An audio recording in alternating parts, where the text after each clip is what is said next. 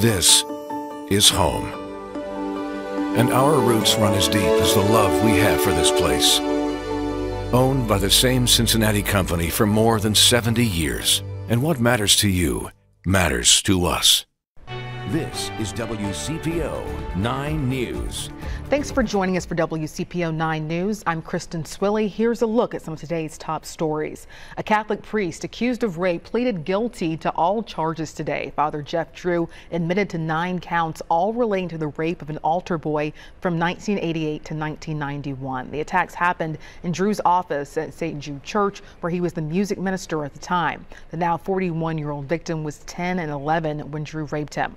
59 year old Drew faces seven years in prison and a lifetime registration as a sex offender. Archbishop Dennis Schnurr of the Archdiocese of Cincinnati says Drew will, quote, never again have a priestly assignment in the Archdiocese of Cincinnati or any other diocese. Police are still searching for the driver who shot at another driver on Interstate 75. It happened in Lockland near the Shepherd Lane overpass and was captured by an ODOT camera. The victim was shot multiple times. As of last check, he was listed in critical condition.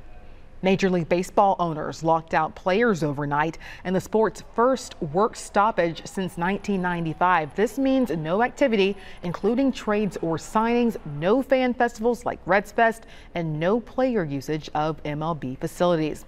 The Reds released a statement overnight which reads in part, quote, while MLB works around the clock with the Players Association, our work to strengthen our ball club for the long term continues. We appreciate the continued support and we very much look forward to seeing you again at Great American Ballpark in 2022. Jen?